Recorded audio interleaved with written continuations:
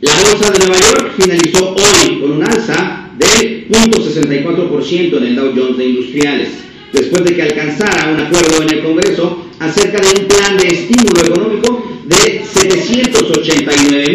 mil millones de dólares. El mercado neoyorquino vivió una jornada mucho menos agitada que el día anterior y los principales indicadores bursátiles lograron aguantar el territorio positivo hasta el cierre, con los inversores atentos a las noticias que llegaban de Washington. Allí, ocho diferentes ejecutivos de algunos de los mayores bancos de los Estados Unidos comparecían ante un comité de la Cámara de Representantes, mientras que el secretario del Tesoro, Timothy Geithner, acudía ante otro del Senado para hablar de un nuevo plan de estabilización del sistema financiero.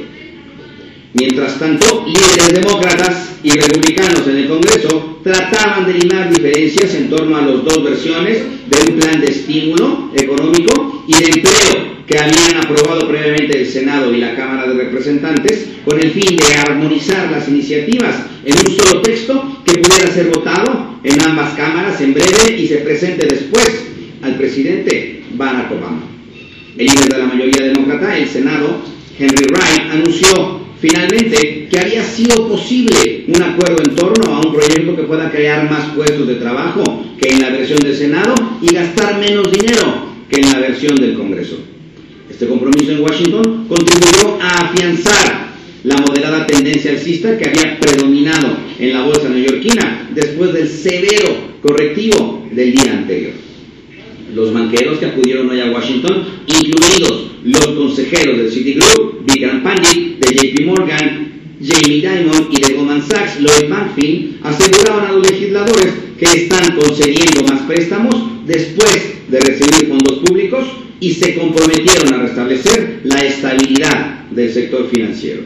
El secretario del Tesoro, por su parte, defendió en el Senado la falta de precisión en cuanto a la aplicación de algunas medidas incluidas en el plan para el sistema financiero que presentó el martes y aseguró que no quería caer en los errores de meses pasados con decisiones precipitadas. La participación del sector privado en la tarea de purgar los balances de los bancos de activos que perjudican su liquidez y sus cuentas y la manera en que se valorarán esos títulos respaldados por hipotecas y otros préstamos problemáticos son algunos aspectos que necesitan mayor claridad, según los expertos.